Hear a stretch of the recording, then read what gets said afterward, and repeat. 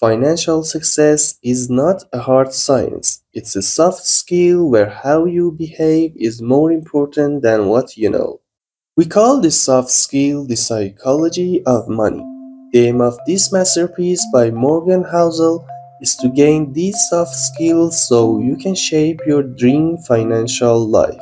We're gonna deep dive into topics like compounding effect, margin of safety, tail events, wealth, saving and etc. Make sure to stick to the end of video as I have a special gift for you.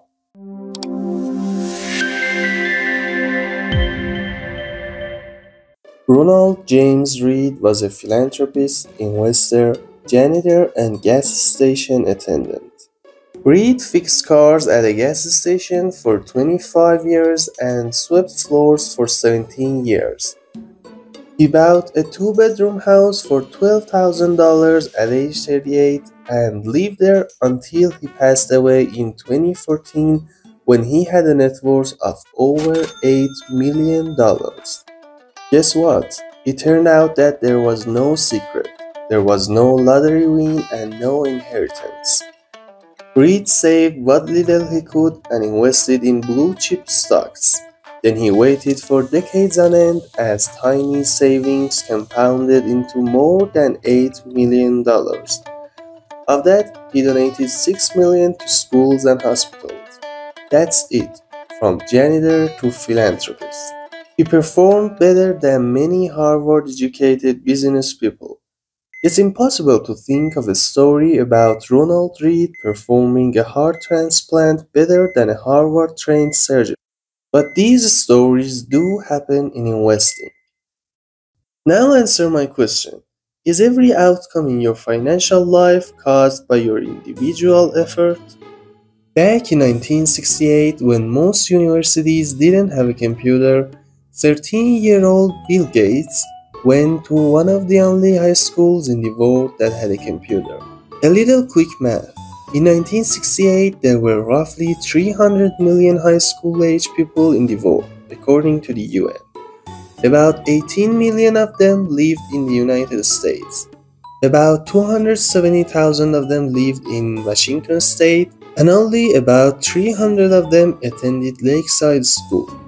Start with 300 million, end with 300. Only one in a million high school age students attended the high school that had a computer. Bill Gates happened to be one of them. Gates is not shy about what this meant. If there had been no Lakeside, there would have been no Microsoft, he told. Gates is staggeringly smart, even more hardworking, and as a teenager, had a vision for computers that even most computer executives couldn't grasp. He also had a one in a million head start by going to school at Lakeside. Now let me tell you about Gates' friend Kent Evans. He experienced an equally powerful dose of something else called risk. Kent was by Gates' own account the best student in the class. He was as skilled with computers as Gates. Kent could have been a founding partner of Microsoft with Gates, but it would never happen. Kent died in a mountaineering accident before he graduated high school. The odds of being killed on a mountain in high school are roughly 1 in a million. Bill Gates experienced 1 in a million luck by ending up at Lakeside. Kent Evans experienced 1 in a million risk by never getting to finish what he and Gates set out to achieve. The same force, the same magnitude, working in opposite directions. Back to our question. Luck and risk are both the reality that every outcome in life is guided by forces other than individual effort.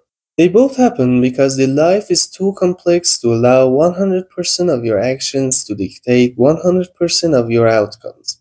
They are driven by the same thing. You are one person in a game with 7 billion other people and infinite moving parts.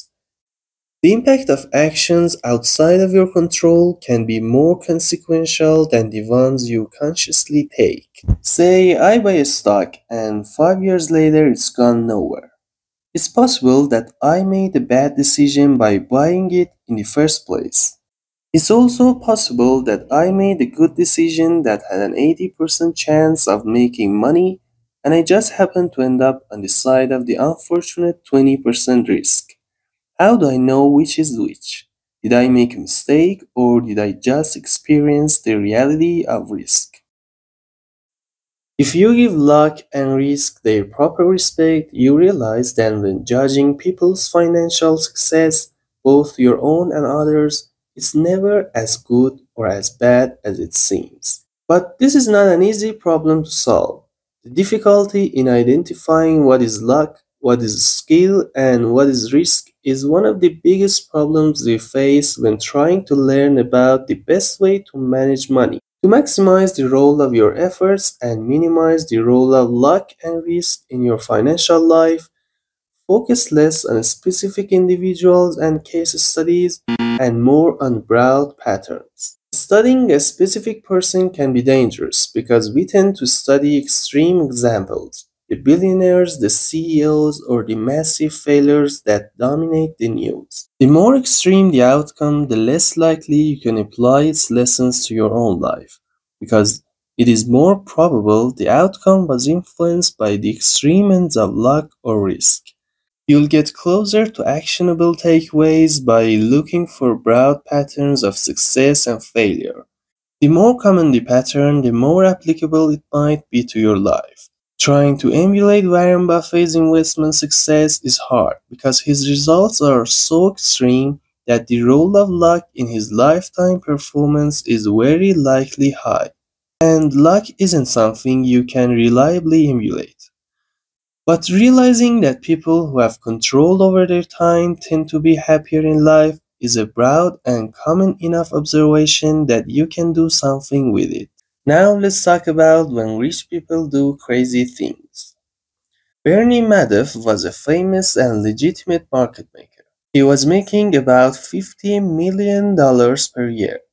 Then one day, in pursuit of even more money, he started committing crimes. He performed Ponzi schemes to gain even more money. Firstly, he got away with it, but after a while, he was jailed and lost everything. The question we should ask is why someone worth hundreds of millions of dollars would be so desperate for more money that he risked everything in pursuit of even more. Crime committed by those living on the edge of survival is one thing, but what Madoff did is something different. He already had everything unimaginable wealth, prestige, power, and freedom, and he threw it all away because he wanted more. He had no sense of enough. The hardest financial skill is getting the goalpost to stop moving. It gets dangerous when the taste of having more, more money, more power, more prestige increases ambition faster than satisfaction. In that case, one step forward pushes the goalpost two steps ahead.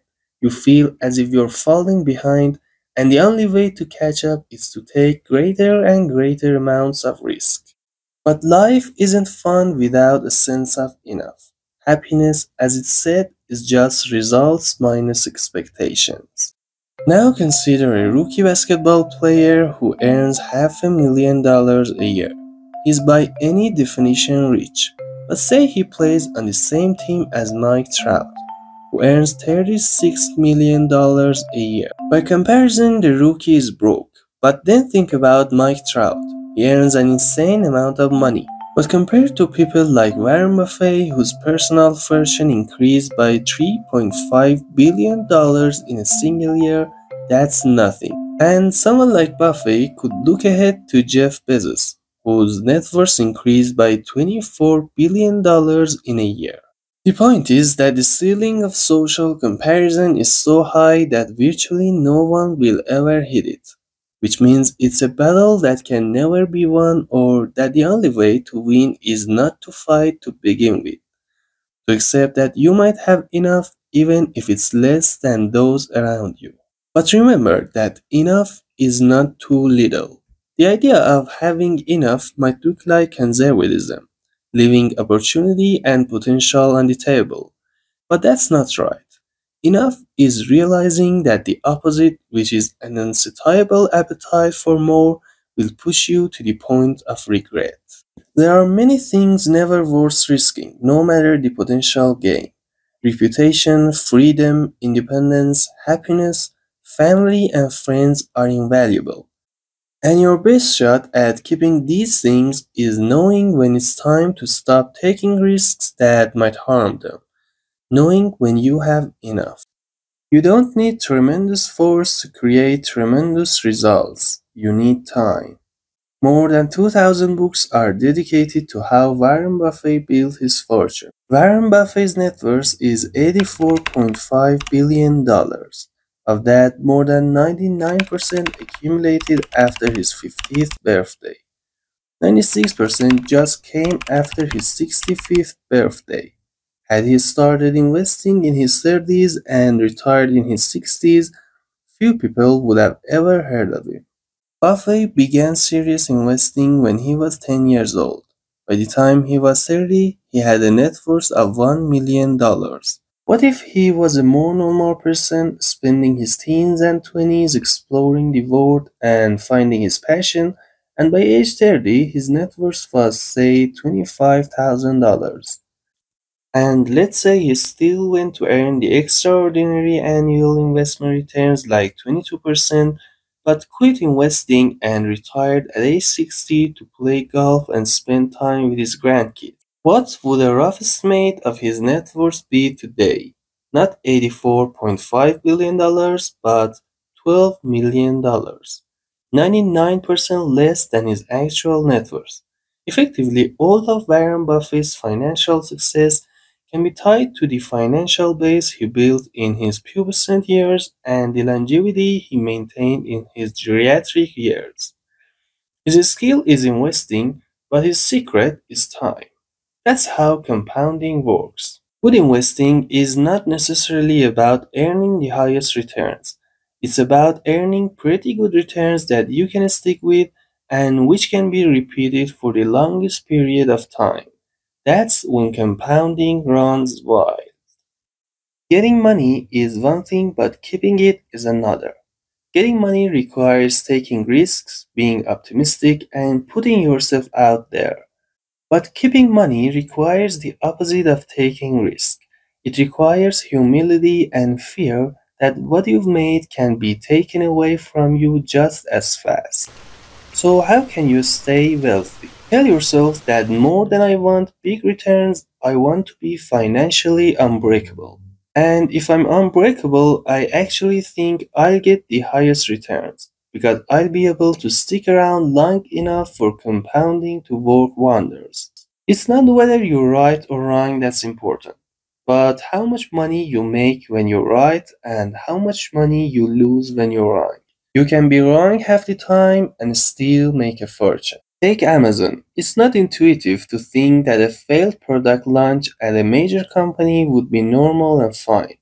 Intuitively, you think the CEO should apologize to shareholders.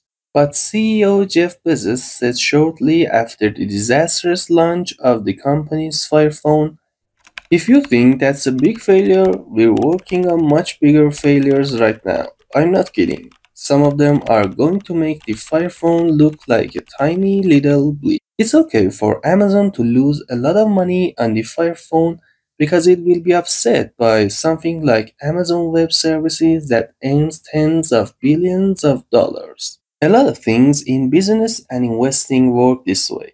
Tail events, the farthest ends of a distribution of outcomes, have tremendous influence in finance where a small number of events can account for the majority of outcomes. The ability to do what you want, when you want, with who you want, for as long as you want is priceless. It's the highest dividend money pays. Money's greatest interesting value, and this can't be overstated, is its ability to give you control over your time. A small amount of wealth means the ability to take a few days off work when you're sick without breaking the bank. A bit more means waiting for a good job to come around after you get laid off, rather than having to take the first one you find. Six month emergency expenses means not being terrified of your boss because you know you won't be ruined if you have to take some time off to find a new job. More wealth means the ability to take a job with lower pay but flexible hours. Then there's retiring when you want to instead of when you need to. Using your money to buy time and options has a lifestyle benefit few luxury goods can compete with. The United States is the richest nation in the history of the world, but there's little evidence that its citizens are on average happier today than they were in the 1950s, when wealth and income were much lower. A 2019 poll of 150,000 people in 140 countries found that about 45% of Americans said they felt a lot of worry the previous day. The global average was 39%. But why? Part of what's happened here is that although we have greater wealth to buy bigger and better stuff, we've simultaneously given up more control over our time. At best, those things cancel each other out. Wealth is what you don't see. If you see someone driving a Ferrari, are they considered wealthy?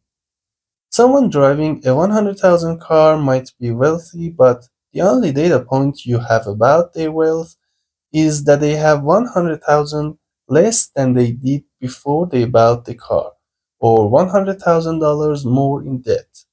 That's all you know about them. We should be careful to define the difference between wealthy and rich. Rich is about current income. Someone driving a $100,000 car is almost certainly rich, because even if they purchase the car with debt, you need a certain level of income to afford the monthly payment. Same with those who live in big homes. It's not hard to spot rich people. They often go out of their way to make themselves known. But wealth is hidden. It's income not spent. Wealth is an option not yet taken to buy something later. Its value lies in offering you options, flexibility, and growth to one day purchase more stuff than you could right now. Wealth is financial assets that haven't yet been converted into the stuff you see. That's why spending money to show people how much money you have is the fastest way to have less money. If wealth is what you don't spend, what good is it? Well, let me convince you to save money. The first idea, simple but easy to overlook, is that building wealth has little to do with your income or investment returns and lots to do with your savings rate. If you view building wealth as something that will require more money or big investment returns, the path forward looks hard and out of your control. But if you view it as powered by your own frugality and efficiency, the destiny is clearer. Wealth is just the accumulated leftovers after you spend what you take in.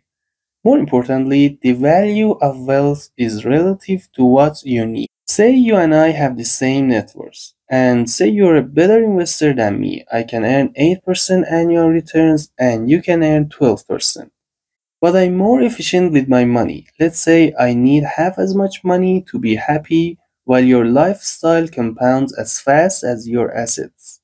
I'm better off than you are, despite being a worse investor. I'm getting more benefit from my investments despite lower returns. Past a certain level of income, what you need is just what sits below your ego. Everyone needs the basics. Once they're covered, there's another level of comfortable basics. And past that, there's basics that are both comfortable, entertaining, and enlightening. But spending beyond a pretty low level of materialism is mostly a reflection of ego approaching income, a way to spend money to show people that you have money. When you define savings as the gap between your ego and your income, you realize why many people with decent incomes save so little. It's a daily struggle against instincts to extend your peacock feathers to their outermost limits and keep up with others doing the same. But wealthy people with enduring financial success, not necessarily those with high incomes or rich people, tend to have a propensity to not give a damn what others think about them. So people's ability to save is more in their control than they might think. And you don't need a specific reason to save. Some people save money for a down payment on a house or a new car or for retirement. That's great, of course, but saving doesn't require a goal of purchasing something specific. You can save just for saving's sake. Only saving for a specific goal makes sense in a predictable world, but ours isn't. Saving is a hedge against life's inevitable ability to surprise the hell out of you at the worst possible moment. The question then is how should we think about and plan for the future? The solution is simple. Use room for error when estimating your future returns. This is more art than science. For my own investments, I assume the future returns I'll earn in my lifetime will be one-third lower than the historic average. So I save more than I would if I assume the future will resemble the past. It's my margin of safety. The future may be worse than one-third lower than the past, but no margin of safety offers a 100% guarantee. A one-third buffer is enough to allow me to sleep well at night. And if the future does resemble the past, I'll be pleasantly surprised. An important cousin of room for error is what I call optimism bias in risk taking or Russian roulette should statistically work syndrome. The idea is that you have to take the risk to get ahead, but no risk that can wipe you out is ever worth taking. The odds are in your favor when playing Russian roulette, but the downside is not worth the potential upside. There's no margin of safety that can compensate for the risk. So every time you plan for the future, you have to give yourself room for error. You have to plan on your plan not going according to plan. What other factors should we consider while planning? I grew up with a friend who came from neither privilege nor natural intellect, but was the hardest working guy I ever knew. His life's mission and dream as a teenager was to be a doctor. He pushed, and a decade older than his classmates, he eventually became a doctor. How much fulfillment comes from starting from nothing, bulldozing your way to the top of medical school, and achieving one of the most noble professions against all odds? I spoke to him a few years ago. The conversation went like this Long time no talk. How are you doing? Awful career. Hmm, well, awful career, man. This went on for ten minutes. The stress and hours had worn him into the ground. He seemed so disappointed. We don't know what the future holds. It's another to admit that you yourself don't know today what you will even want in the future. The end of history illusion is what psychologists call the tendency for people to be keenly aware of how much they've changed in the past but to underestimate how much their personalities, desires, and goals are likely to change in the future. But there are two things to keep in mind when making what you think are long term decisions. We should avoid the extreme ends of financial planning, assuming you'll be happy with a low income or choosing to work endless hours in pursuit of a high income increases the odds that you'll one day find yourself at a point of regret. Aiming at every point in your working life to have moderate annual savings, moderate free time, no more than a moderate commute, and at least moderate time with your family increases the odds of being able to stick with a plan and avoid regret than if any one of those things fall to the extreme sides of the spectrum. Everything has a price, but not all prices appear on labels. The S&P 500 increased 119-fold in the 50 years ending 2018. All you had to do was sit back and let your money compound. But of course, successful investing looks easy when you're not the one doing it. Hold stocks for the long run. You'll hear it's good advice, but do you know how hard it is to maintain a long-term outlook when stocks are collapsing? Like everything else worthwhile, successful investing demands a price, but its currency is not dollars and cents. It's volatility, fear, doubt, uncertainty, and regret. all of which are easy to overlook until you're dealing with them in real life. Few investors have the disposition to say, I'm actually fine if I lose 20% of my money. Beware taking financial cues from people playing a different game than you are. Cisco stock rose 300% in 1999 to $60 per share. At that price, the company was valued $600 billion, which is insane. Few people actually thought it was worth that much. The day traders, however, were just having their fun. But if you were a long-term investor in 1999, $60 was the only price available to buy, and many people were buying it at that price. So you may have looked around and said to yourself, wow, maybe these other investors know something I don't. What you don't realize is that the traders who were setting the marginal price of this stock were playing a different game than you were.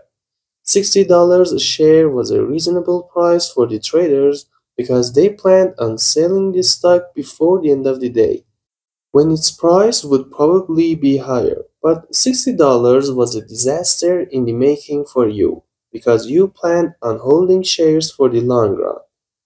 A takeaway here is that few things matter more with money than understanding your own time horizon and not being persuaded by actions and behaviors of people playing different games than you are. And for the last part, as I have promised you, I've got a gift for you. You can now download this diagram from the link in the description below and read the best sentences of this incredible book. To access more visual summaries of the best books, subscribe to my channel and give a thumbs up.